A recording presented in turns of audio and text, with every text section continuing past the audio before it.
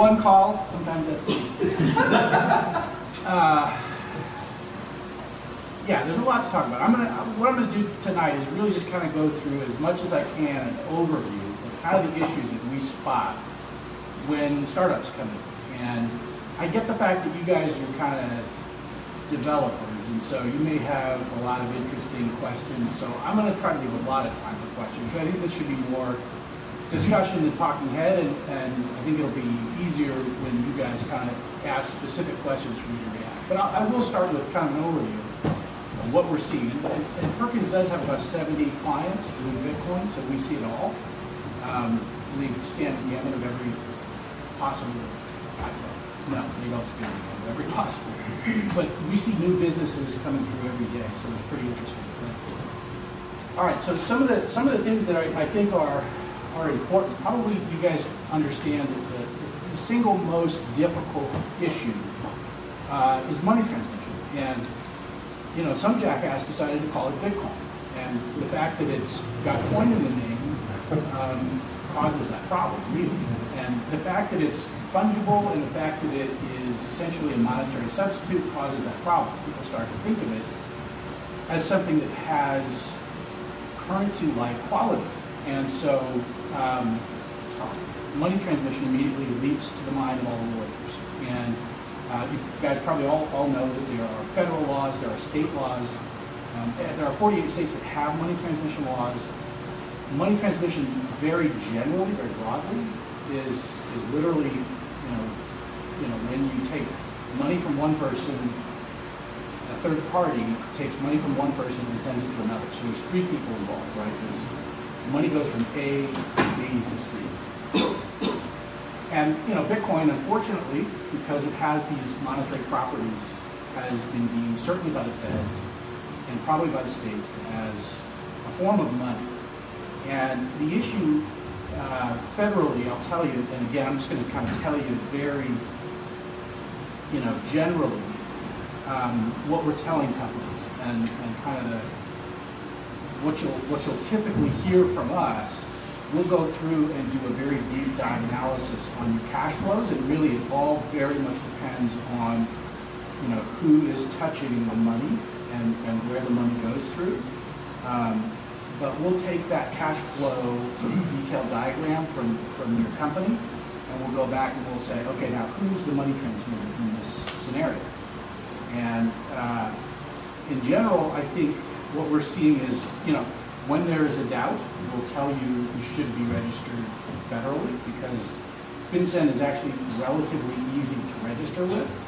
Um, and it really doesn't, it's, it's, literally an online form you can fill out. You do have to have an AML policy, a KYC policy, and you actually have to do those things that you commit to when you fill out that form. Um, but it's a reasonably easy process. Um, and there's a really draconian set of rules if you don't. And so we combine the fact that it's a, it's a, it's a, it's a you know, criminal penalty if you don't, if, if you are required to and you don't federal, federally file, uh, and combine the fact that it's relatively easy to do that, our advice is pretty simple. Practical advice is, you know, when in doubt, file federally. Problem with that, all right, what? So if I fork, say, a really awesome open source software like Ripple, uh, and I don't and I, you know, distribute billions of these new cool open source tokens to people by for free uh, without charging them. Do I still have to register with FinCEN as a money transmitter? Well, you're doing it all open source? It's all open source and we're going to the stars. And so you're just a software developer? And you're not going to mine anything? Uh, we pre-mined it and we're going to give it away. What do you mean you're going to give it away? It was all his We're gonna issue it, but we're not gonna redeem it. So you pre-mine it, you give it away, but you keep some. That's right. So what you're hoping for is that people will have, it'll have some value. Are you, are you hoping that a secondary market develops it will have some value? If it does, we it will just be it will just happen. We, We're we're certainly not providing a secondary market. and we're not encouraging it. Well, I, I can tell you for sure that the, the guys in my shop are gonna tell you Federally, you should still file. And what do you file as? You file as a money transmitter. You basically, When- because, okay, here's, here's the thing. At the federal level, it's an administrator, right? And you're, you have mined this coin, you're the only one who can give it out. You created it, you mined it, you're giving it out. That's kind of an administrator point from the federal perspective. So there's at least a risk. I think it's a low risk, actually. I- I- truth be told, I think that's a low risk if you're a federal money transmitter. But there's enough of a risk and it's easy enough federally that you probably should file. But let me get to the downside. The downside of filing federally as a money transmitter is you may lose your bank account. You know, your commercial banking relationships may get pulled. And you've gotta be very solid with a strategy on how to keep those commercial bank relationships intact if you're gonna file federally. Is that because you're saying that you're associated with Bitcoin? No, well, it's because you say you're a money, you, you are a money transmitter, you're, you're, you're a, um, money services business. And, and once you say that, in fact, it doesn't necessarily have to be Bitcoin. Banks these days are really nervous about any money service business. Um, and, and there's a bunch of reasons. what? They're, they're, they're nervous about money service businesses in general, not just Bitcoin, but any, any money service business. Because, you know, um, there's a lot of people filing federally that, that, uh, you know, that are, that are money service businesses that are outside of Bitcoin that banks can't deal with either. So, so look, this, this is a hard question. Taariq's asked a good, solid question, but the the advice you're gonna get, probably from Perkins and probably from a lot of firms, is federally filed. Now, the, the harder question, the more interesting question, I think, is what to do with the states, because all forty-eight states that have money transmission laws are gonna have a similar but slightly different regime. And the reality with, with state law is almost certainly you're going to get some kind of a letter. And I say almost certainly because it's not certain. They could send an indictment, but they probably won't.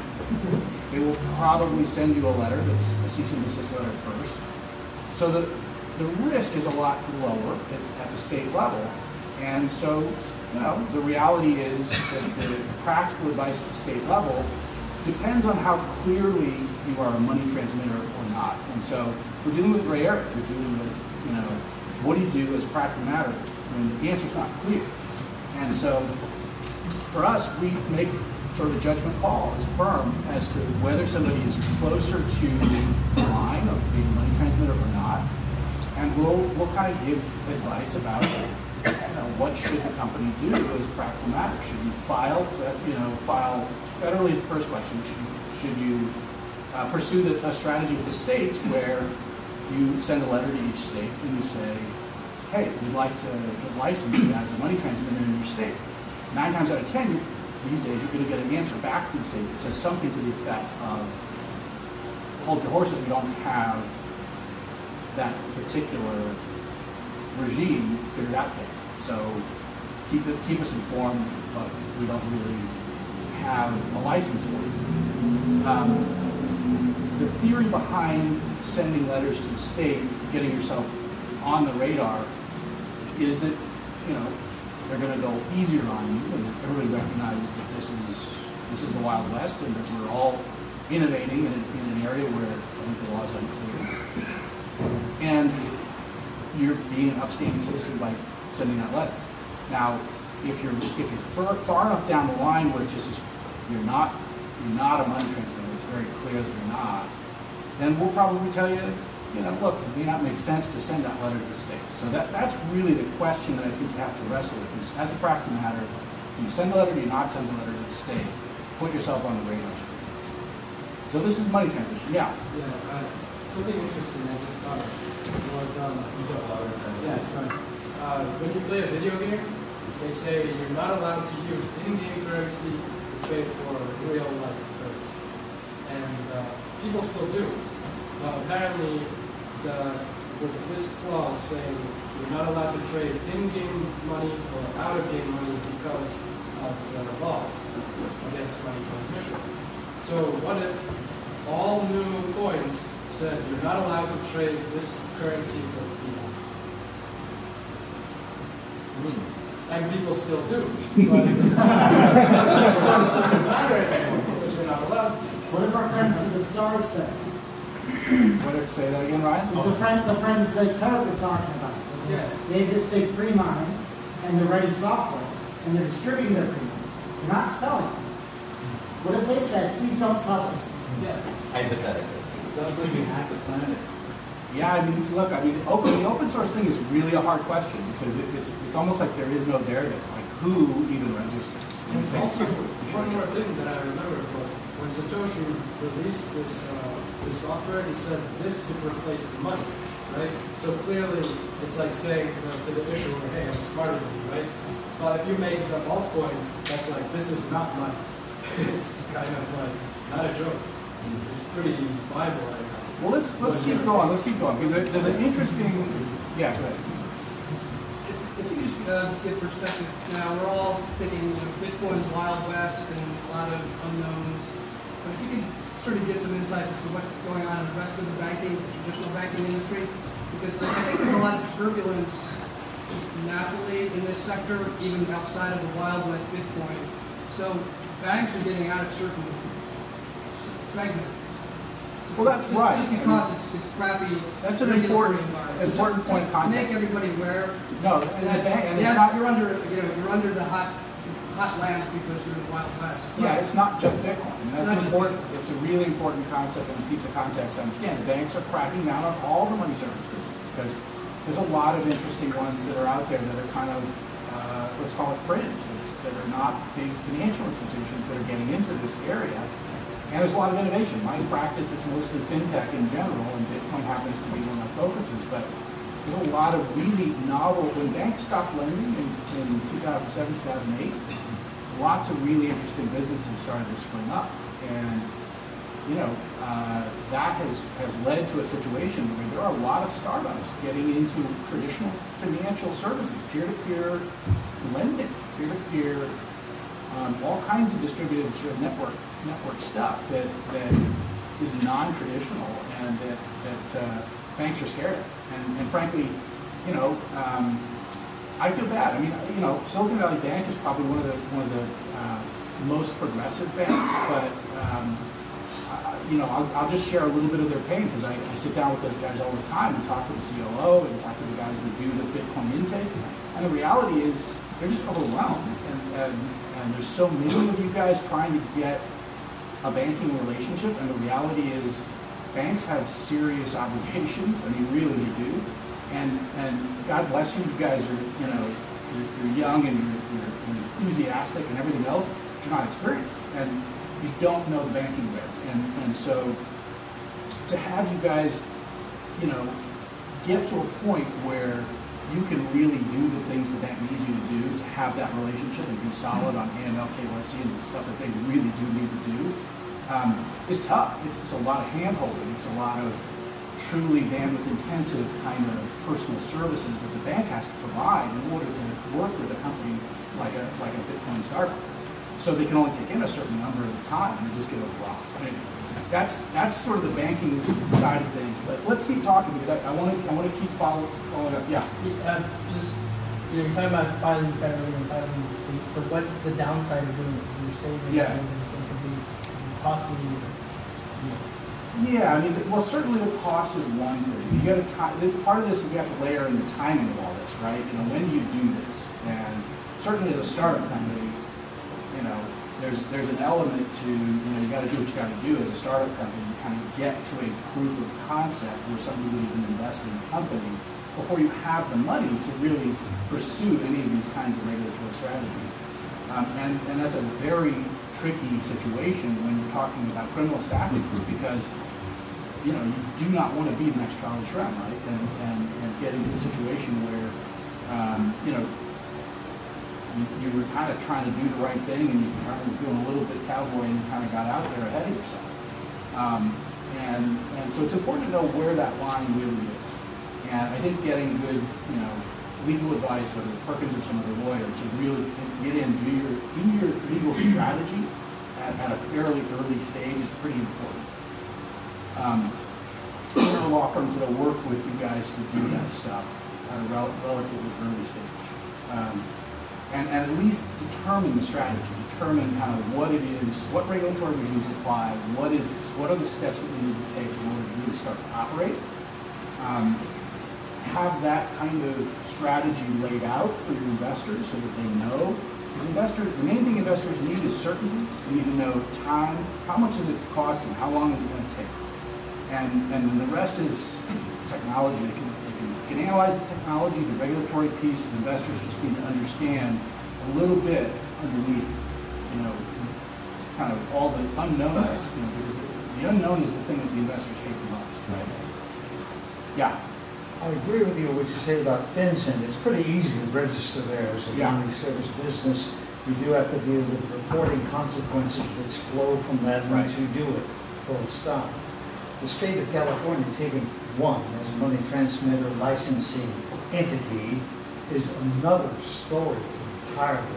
Are you aware of any Bitcoin financial service business that has actually applied Oh, for a money applied? Yes, transmitter sure. license in California? Yes.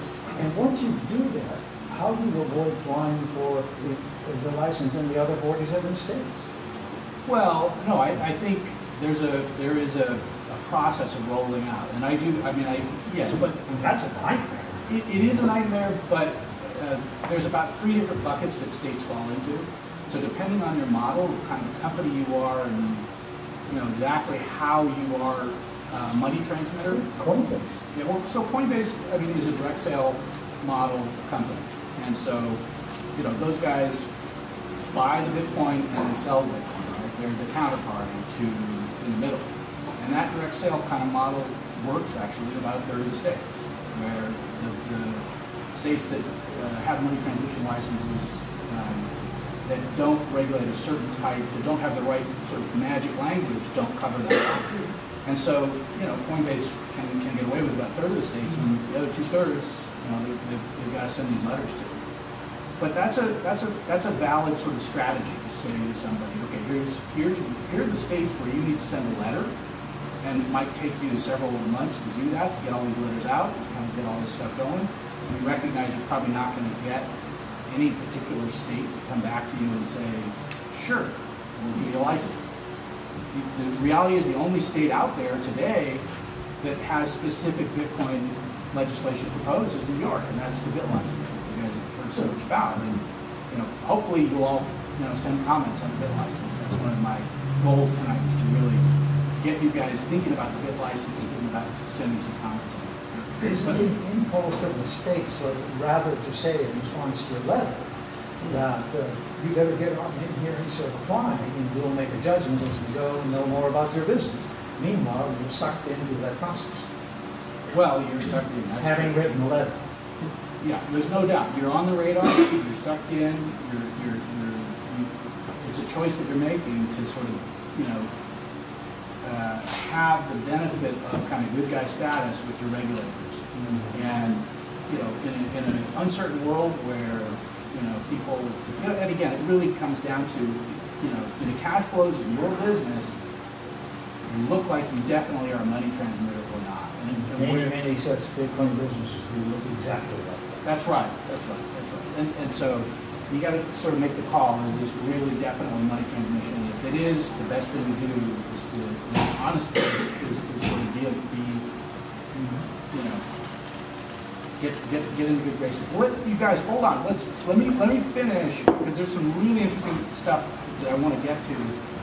Besides money transmission, money transmission, I know, is interesting, and it's, it's tough. Uh, but I want to talk a little bit about um, some of the other regulations, and we'll come back to money transmission if you guys still have questions. One of the other really interesting things that people are starting to see right now is securities law. And, you know, I, I, I, this, this one, money transmission is not my personal forte. It's something that I, I will on off on some of my partners. But securities, securities regulation is something that, that I do, that I teach in, in law school and stuff. And I can tell you that, you know, there are a lot of Bitcoin 2.0 altcoin kind of companies that are out there today that are really over the line. And, and um, I'll, I'll tell you where I personally, and I don't think my firm has yet come out with a, a point of view on this, but it's, it's in consideration, but, but my personal view of, of kind of where this line gets drawn for, uh, for Bitcoin 2.0 companies is, um, and, and this is actually going to come, we're going to, this will circle back to money transmission, so I'll tie this in. But there's a really interesting sort of distinction between a token for a product and a token for a financial return, or a coin that represents a financial return. And, and the way that I would say, where, where I think this comes in is, uh, let's just take um, MaidSafe as, as, a, as an example. So what MaidSafe really did was they said, okay, what, what, what's going to happen is this digital quote-unquote currency that you're buying is really going to give you access to some storage. And so what people are really buying is storage when they buy this coin. You know, that probably works, right? Because it's a, it's a product that really is nothing more than a, a, a product that is represented by a token, by a, by a, by a cryptocurrency. And we can think of all kinds of products. This is going to start to crop up all over the place, right? We're going to start to see all kinds of tokenization of assets. Digital tangible is a good example. Tokenization of gold, tokenization of art, tokenization of securities, Overstock is going to do, I mean, that actually is a security. But the, the point, I guess, is that there's, there's this concept of using the blockchain or a blockchain as a ledger uh, technology for tracking ownership that is completely separate and apart from the coin element that we see now in a lot of these altcoins. And the real truth is probably most of these altcoins are being issued because there's this weird, you know, hard to fathom, irrational exuberance for coins. Like people buy them for some reason. Um, and, and so, you know, I mean, it, it really honestly is sort of mind-boggling that somebody would buy an altcoin. Um, just because it's a coin that says the word coin in the title or whatever. I don't know why it is, but people are buying. They have, they have this supply and demand. It's the same kind of, people saw Bitcoin, I guess, go crazy and they figure it'll happen, the same thing will happen with these altcoins. So there's this, there really is this market, there really is this supply and demand price of, of an altcoin that, that is separate apart from whatever it's offering as, you know, as a, as a return. But redeemable altcoins that are redeemable for something other than a product are really problematic from a securities law standpoint. If they're redeemable for more coins later in the future, if they're redeemable certainly for cash, redeemable for any kind of financial return or any kind of ownership of, of some network or ownership of some company, you gotta be, you gotta be, you know, it's, it's very likely that's gonna be a security from the securities law standpoint. Yeah, What if, uh, like we asked earlier, we say it's not redeemable for anything, it's just a finite supply, and what happens to it Yeah. according to the laws of the code will happen to it? Yeah, so, so a product, right? I mean, uh, antique cars have a ha- have a terrific speculative value, right? Because they go up in price, right? Products can go up in price, have a speculative value, and not be a security. Okay. Um, the same is true with a tokenized product, right? A product that is represented by a token. The token is not going to be a security if it's redeemable for a product, as long as that's really what it's redeemable for. If it's redeemable for something beyond a product that is a financial return, like a percent of um, the money collected from customers X, Y, and Z, any kind of financial return like that is going to turn what used to be a product sale, a crowd sale, into crowdfunding. And crowdfunding is not illegal, crowd sales are. Kickstarter works. If you sell equity, it doesn't work. Unless, you guys probably are getting confused because crowdfunding, there are, crowdfunder, for example, exists, but they only sell to credit investors. Well, I think, I think I'm confused because the boundary between a token and equity is getting very blurry. Yeah. It, it, it comes down to what's it redeemable for. Is it redeemable for, for only a product that has a consumable value, like a Beanie Baby? Let's say a tokenized Beanie Baby, that's not a security, because the Beanie Baby is a, is a consumable item that I want to buy. And I'm, I'm paying for the Beanie Baby, and for the consumption value of that Beanie Baby. But what if it's explicitly not for anything? Oh, yeah, if it's, if it's not for anything, if it's, well, I gotta preface this by saying nobody's really figured this out yet, but Bitcoin itself is probably not a security. Right, because it's not redeemable for anything. I'm really talking about these altcoins that are redeemable for these fancy, kind of interesting things. So Something, Sure. something that's interesting is, I think a lot of the companies doing like colored coins and stuff, where they would issue something that would, we would all agree is a security, like a share in a company.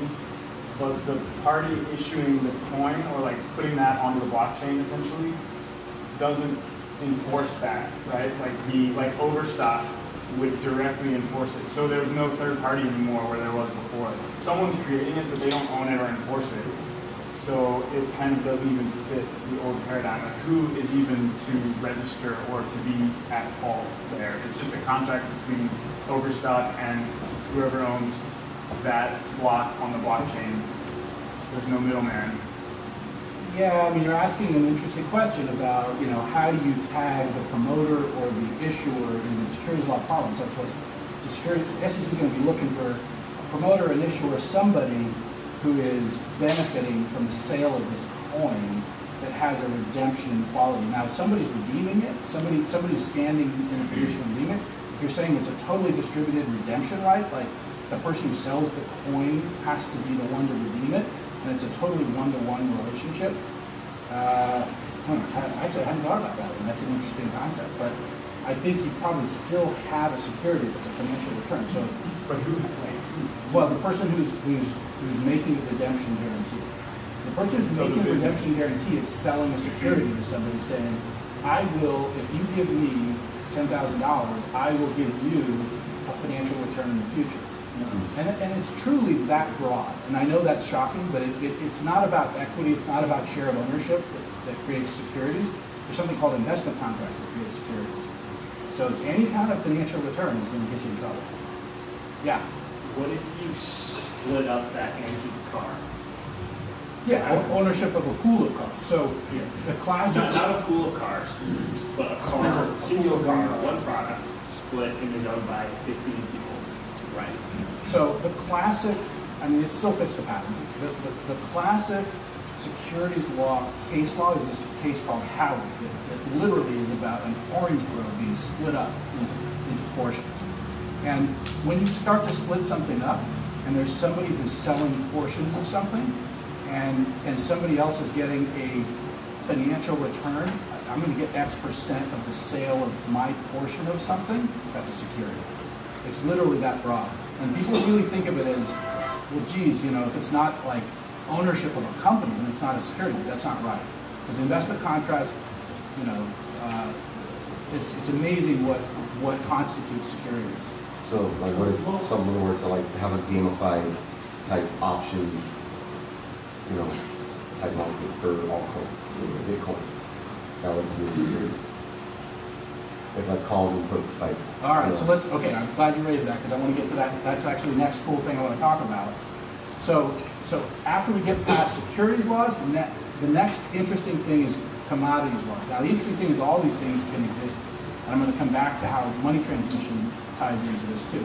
But the commodities laws are another really important new development we're starting to see because everybody is finally starting to talk about derivatives and, and how to do fancy trading because, you know, why not? I mean, you can make a ton of money. Anybody in Chicago will tell you that trading options is a hugely uh, lucrative thing. And, you know, Bitcoin and all these altcoins and all the incredible arbitrage opportunities that exist because the trading is not particularly uh, efficient, you know, could result in some really, and probably there are people in this room who probably made a killing on some of the arbitrage opportunities. And that, that exists, and, and people are starting to think about how to do, you know, derivatives trading of Bitcoin and other altcoins. And, and that is going to be governed by CF, or excuse me, um, yeah, CFTC. And the CFTC, up, up until now, Bitcoin probably is a commodity, but all the trading theoretically that happens in Bitcoin up until now has been spot trades. And the CFTC doesn't get involved in, in spot trading. That's kind of a big carve out to uh, to to the Commodities and Futures Exchange um, jurisdiction. Is you know they only they only really regulate if you're not delivering the product immediately at the point of sale. And, and uh, Bitcoin almost certainly is a commodity. That's not been decided yet, but if it's anything, it's probably a commodity. It's It's like gold, it's like a piece of property. I just said it's property that fits perfectly in the notion that it's a commodity. So I think the trading, the interested trade, interesting trading, the fancy trading is all gonna be, um, regulated by the CFTC at some point. Yeah. The role of CFTC to just guarantee a certain standard of product for the delivery. So I think an issue for CFTC is how do they guarantee the quality of the Bitcoin? Yeah, you're, you're absolutely right. I mean, Bitcoin is, is, you know, like, like other commodities, is a commodity. It's, it's hard to figure out, you know, how you could possibly create a different set of values around Bitcoin. It is what it is. Um, but the reality is, the contract that you enter into as to the Bitcoin is what's interesting. And, and, and when it starts to be fancy trading, just like it is for soybeans, which you know, can't possibly be anything other than a soybean, you, know, you can't really make a, a, a false claim about soybeans because they are what they are, just like Bitcoin is. Altcoins you can make a bunch of false claims about, but commodities you probably can't. To, to guarantee the quality of the Bitcoin, you would just check the blockchain. That's right, that's right. And, and so that's why I say it's probably a commodity, right? It's probably like some of these other types of things that are not, there's not a lot of value judgments to be made. It's just, it is what it is. But the trading, that's why, and that's precisely why the CFTC doesn't regulate spot trades, because spot trades are too simple, and it's a commodity, and it, and there can't possibly be, you know, a problem with somebody who has decided, you know, who's taken possession of something immediately and so forth. But when you start to get into fancy trading, where the where the contract itself, the contracted sale itself, starts to have these weird provisions in it, that's where the CFTC starts to get interested, um, because you know you're talking about future future delivery of something that might not occur, and so um, there's often lots of intricate, you know, puts and call options and stuff that start to get fancy. Yeah. So you have the CFTC and you have the SEC. Each one of those are actually overseen by different parts of Congress, so different players. So I'm wondering, as application developers, are there certain nuances or things, because they have two different branches of the tree. Does that translate to two different sets of considerations for folks in the room? I'm not sure it does. I, I, I personally would much rather be regulated by the CFTC than the SEC, I think. Uh, I agree with you. Yeah, I, I, I- it'll It's, be, it's, a, it's a more, and it's more natural. I mean, I, natural. I really do think that the, that the fancy trading needs, that, the trading is, let's face it, the trading is where the abuses come in. It's not, there's really nothing to disclose about Bitcoin, right? I mean, the SEC is a disclosure regime, and there's nothing that disclosure is gonna help, really. It's, it's a commodity that, that, that trades, in in and, and the complexity of those trades needs to be regulated, it seems to me, just like any commodity. What? It's so persuaded, right? I, I raised a couple hundred grand. I've got this company, I'm doing Bitcoin swaps to fund margin trading. It's going really well, people trade on my books. Um, I want to register with the CFTC, I want to come clean, I want to be regulated accordingly. Yeah, so, I mean, Yeah, what is it do? Yeah, and, and you're, you're hitting the nail on the head, and like the states, the CFTC doesn't have rules yet for Bitcoin So why aren't we lobbying the CFTC instead of NYDFS or whoever these freaks are? Well, there are two different issues, but let's, but, um, but let's circle back, because I want to actually tie in the securities law piece to the money transmission, because I, I think there's an interesting thing here. One of, one of the things that we're seeing, again, is this dichotomy between products that are tokenized and financial returns that are tokenized. Financial returns that are tokenized are probably securities, but products, and again, whether it's art or gold or, you know, any kind of um, tokenized asset, right, to me, should not be money transmission, because you're not, you don't have what is effectively a fungible, um, you know, um, I mean, when you think, let- let's just think for a minute about in-game gold versus in-game Vorpal swords, right? A product, like a Vorpal sword, has a cost. And so you could translate it into something fungible, but it's not itself fungible. You wouldn't ever pay for something with a Vorpal sword, but in-game gold you would. Because the gold itself has this fungibility quality. It's intended to be used as a means of exchange.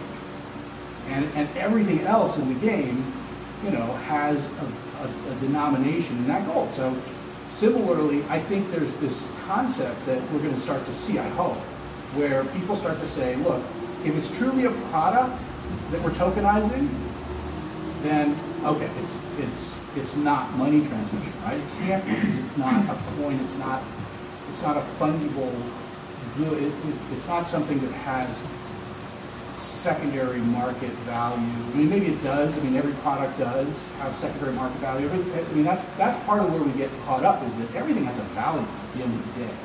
But it's not intended to be a value that is fungible, it is, that is used as a means of, of, of paying for things, right? So, so we're, that's kind of what we're hoping to see the bit license but probably not, but maybe some other states will start to kind of get this, this concept. Yeah, Do you think that distinction will kind of break down as Vorpal swords are tradable in seconds on markets? I mean, ultimately, if everything has value, it is fungible to some extent. I don't think so. I mean, I, I think there has to be something, something, there, there has to be this, this idea of, uh, it's the, it's the medium, it's the medium of exchange, it's the medium of, of, things are, are translatable into it, and you can buy things with it. I mean, there's no other way to do it, because otherwise everything would be money transmission. Right, but I'm saying once you have sufficiently developed markets, I mean, I would be willing to trade for Vorpal swords instead of money if Yeah. I'm confident that someone else will accept them. Yeah, it's, a, it's an interesting philosophical point, and, and you know, I mean, the whole point. Let, us talk about what is the point of money transmission regulation. The point of money transmission regulation is probably two major One is this AML thing, or you know, crap. We've got you know, we've got to somehow regulate the supply and, and the transmission of money from bad guys, you know, to bad guys, and uh, we got to somehow figure out where the bad guys are, are getting in, involved. That's the AML piece. Probably, again, it really does matter that it's a currency. I mean, you're not going to be able to. I mean, theoretically, the bad guys could pay each other in cartons of eggs. Right, well, I guess my question is, once that's possible, right now, it's not possible to pay each other to, for terrorists to finance their stuff with cartons of eggs, once they can finance projects everything's with tokenized. tokens that represent Yeah. cartons of eggs, and wouldn't the natural next step for the government be to say Well, that that- they you know, can it's, it's, it's a very dangerous question you're asking. but, but a good one. I mean, you're right. I mean, there's, there's a legitimate issue there, right? Because we're making, we're, we're, when, when you tokenize something, you are potentially create, making it so much easier to deliver effectively ownership of that thing that it makes it so much more easily fungible and usable as, as, as a, as a medium of exchange. Who knows? But, I mean, So when hopefully. everything's as liquid as money, what is money? Right. I mean, Well, if you- yeah. I mean, why couldn't you, if you, uh, cut the, the live stream off, but, I mean, if you were Al Qaeda and you could sell, like, decentralized storage tokens, I mean, that's just fun. Should I shut up? I don't know. No, it's, it's, it's a good philosophical point, I mean, it really is. And, and, and technology is evolving to the point where if we tokenize all of our products, it begs the question, maybe everything should be money transmission and regulated that way. Right. Um, but the other, the other piece of it, of course, is the consumer protection piece of, um, somebody walks into Western Union, hands them money, and doesn't quite know what happens next. And so, um, that's kind of the, the, the underpinning of, of all the state money transmission laws is really the kind of consumer protection piece of, you know, we gotta, we gotta make sure people's money actually gets to where it's supposed to go. And, and, you know, again, it's, it's, it's the same idea here, when you, when you sort of tokenize things, um, you know, it's not the same, it doesn't have the same feeling to a consumer, when you think about it, that it should be regulated. Like, consumers are used to getting screwed by merchants, right? I mean, if you're buying a product and, and there's, there's a process there, and, you know, the, the uh, CFPB, the Consumer Protection uh, uh, Board, has started to get interested in Bitcoin too, which is another shoe that's going to drop. Um, that uh, really deals with the consumer protection piece of it and the, the fact that we don't have chargebacks, you know, uh, available with, uh, with Bitcoin. And That's going to be another really interesting problem potentially down the road. It hasn't become one yet, but uh, So you saying the CP, Consumer Protection Bureau can actually issue laws that if people don't get their money back because they, they lost their passphrase or they lost their private keys, It's a darn good question, right? Because I mean, really, right now, who does it? It's Visa, Mastercard, and their and their and their contracts with people. They, and all the chargeback thing is really a contractually mandated thing, and it's not a it's not a legal issue. But could CFPB potentially someday come out with some some rules? Probably not. Probably needs an act of Congress to actually put that in place. Um, CFPB probably would do something more along the lines of disclosure, perhaps, about the lack of chargebacks and force, force that kind of thing, along the lines that the bit license guys have There would there would be, there would be pushback, though. And not from this group, but be other groups that would say, Val, The chargebacks? Yeah. Yeah, no doubt. Yeah, so it wouldn't even come out. Probably right. Yeah, yes. You've been kind of tiptoeing around the edge of this, but when the FinCEN regs came out, they gave me the impression this was sort of the first trial essay, and maybe this was going to change. And so the question is, has the cement dried, or is it still soft? Are they going to revise these? Are they going to add more? Is it going to be more consumer protection stuff? Yeah, crystal ball time, you know. You? Yeah, let me repeat the question, is, as, as the cement dried on FinCEN's guidance, originally they sort of said this is a trial balloon. Um, To mix my metaphors horribly, I, I, I, I don't know the answer to that, you know, I, I think, um, I think all the regulators are still scratching their heads, and quite honestly, I think we haven't finished innovating, right, as, as a community. I think we're gonna see really new and different uses of this, this underlying technology, again, that I'm hoping are gonna create, start to create at least a dichotomy between what is money transmission, what isn't money transmission, based more on sort of products, to, you know, tokenized products versus true coins and true currency substitutes. Um, but we'll see, I, I don't know. Yes? So when we do, when does it make sense to incorporate outside of the United States then? Well, I get asked that question a lot, um, and uh, it's a long answer, but I'll try to give you the short version. So uh, it, it, it kind of depends mostly on who your investors and stockholders, who, who your stockholders are going to be. So that's founders and investors and employees to some extent. If everybody's a U.S. citizen anyway, you're not going to get around any of this. If, your if your main market is the U.S. and everybody's a U.S. citizen, you're all subject to U.S. law. And it doesn't matter if you have a Netherlands company or, or an Isle of Man company or, or a Swiss company or whatever. You know, because you're going to be, your U.S. citizens violating U.S. law. So it's a very simplistic way of saying um, the U.S. guys aren't going to get out of it anyway, even if you- even if you're going overseas. Yeah. Not, not long ago, uh, one person inquired to me about acquiring bitcoins. And the way I responded to them was I sent them a whole slew of emails uh, with .gov endings about Bitcoin, like SEC.gov about Bitcoin.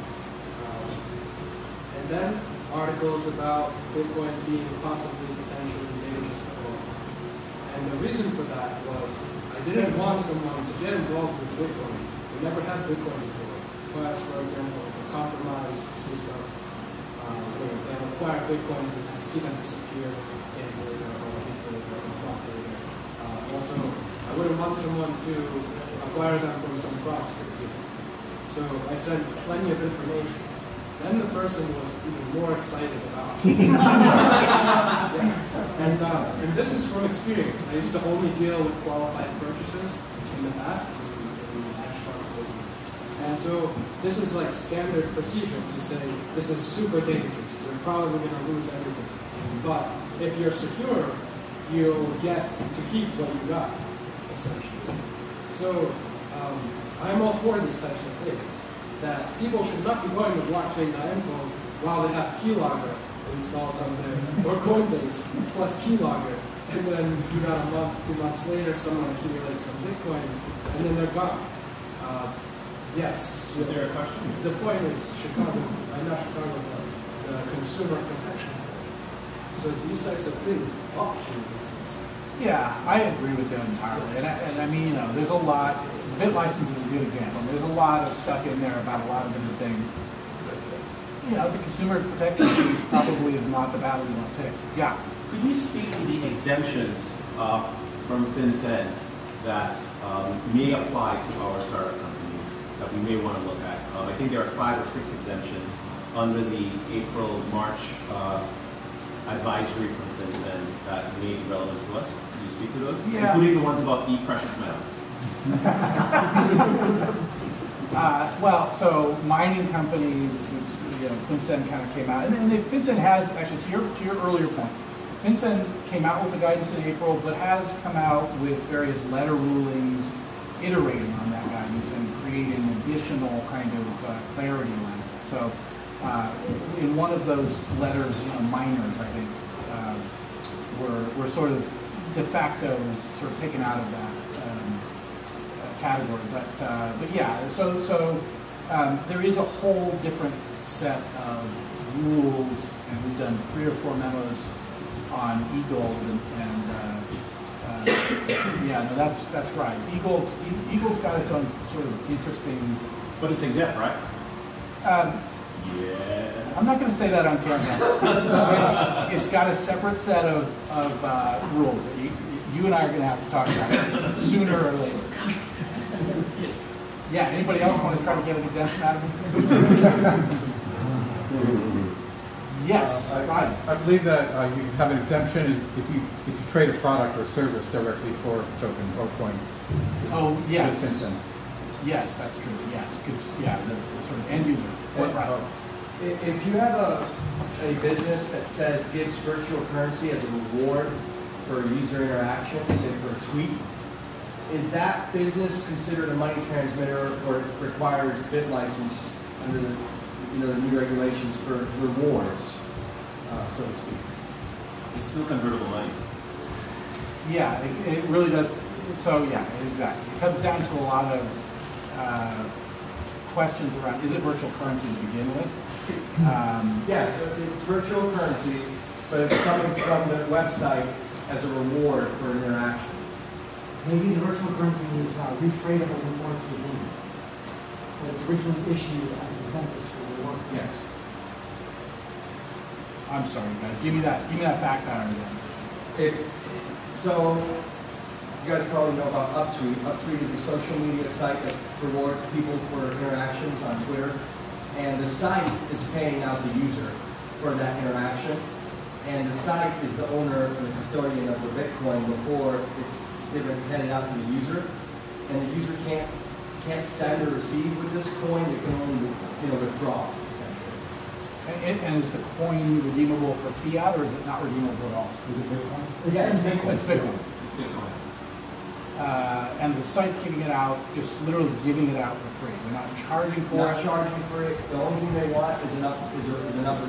That's still consideration. There's still consideration. So they're paying people. They're paying people for it. Yeah, I mean, So the there's, party is the same, the counterparty is the user, they're paying the user to do something. there's an, obviously there's an argument here that, uh, it's really, you know, an end user transaction where they're paying their service provider for the services, right?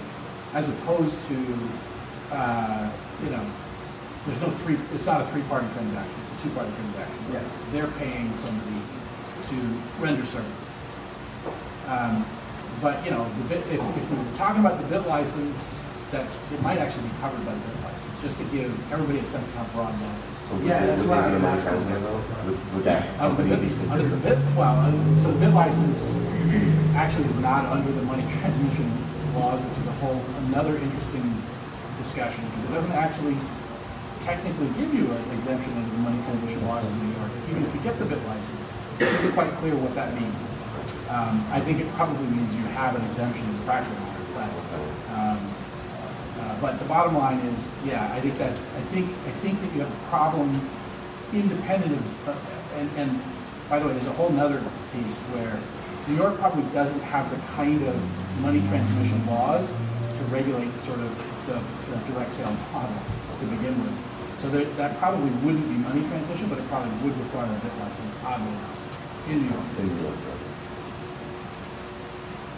How we doing on time? Uh, we have two more minutes for some really, really good hard questions for Lowell that will knock his socks off. Come on, guys. That's, I Let's, have a So, question. does anyone want to do a distributed securities exchange? How do I get licensed for that? Wow. Tell me, Ryan, what do you, talk- what do you mean by distributed securities exchange? What do you mean by distributed securities exchange? I mean, I want to facilitate on blockchain trades of Microsoft stock. Oh, okay. Uh, We'll find out soon. Uh, Yeah, that's, that's, that's under consideration. I have a question. What if, you know, with pre-buying that, that coin does, you know, with using those, funds, let's say they're receiving US dollar to Bitcoin, and you use those funds to back up your, you know, whatever your company is, gold. Let's say there's some sort of precious metal. And you're not, but let's say, you know, they retrieve, you want to retrieve their funds, you're not giving them the gold, you're, they're giving back to them in US dollars or in Bitcoin. I mean, Would that be, that, would you consider?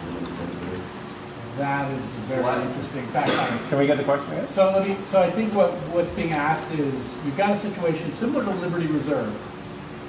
Now you know how to. Um, Where, uh, but you're going to postulate that unlike Liberty Reserve, it's really not a Ponzi scheme. And that you've, you've got, you've got it, you've got it backed by some asset, let's call it gold, let's call it silver, whatever Right. some asset backs it up, but you're gonna also redeem it for cash instead. I think there's a variety of sort of issues there. We talked about the fact that eGold has its own set of statutes that, that have to kind of come into play here. But let's say it's, um, let's not, let's not use gold as an example, let's use, um, uh, antique cars. You know, So, you you know, you can, you can redeem the coin for antique cars, or at the option of the, uh, company that would otherwise have redeemed for antique cars, you can redeem it for cash. Right.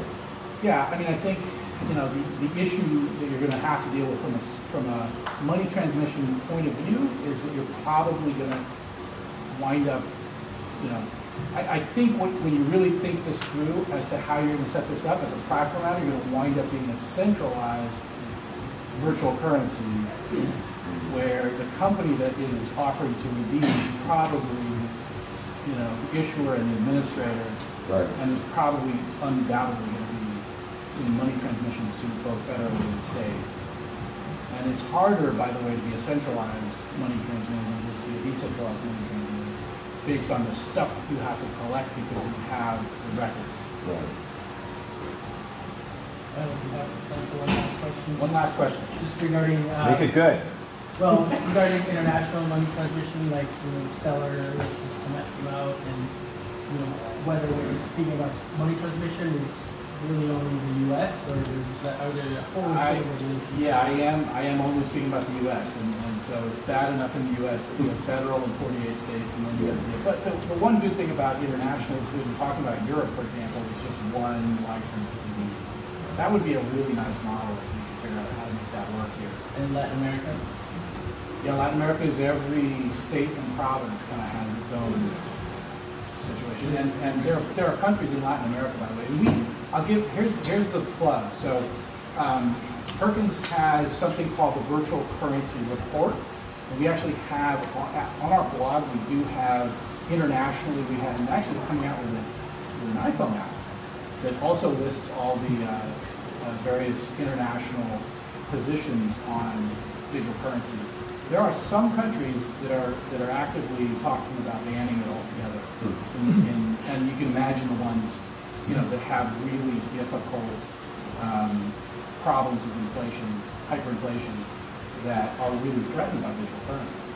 Is it true that Ecuador has, has Ecuador, banned? yeah, has, has, well, they haven't banned it, but they've said they're, they're, they're likely to. Uh-huh. Yeah, I don't think, I don't think that, somebody said, yeah, we're gonna ban this. Hmm. It's looking like it's gonna happen.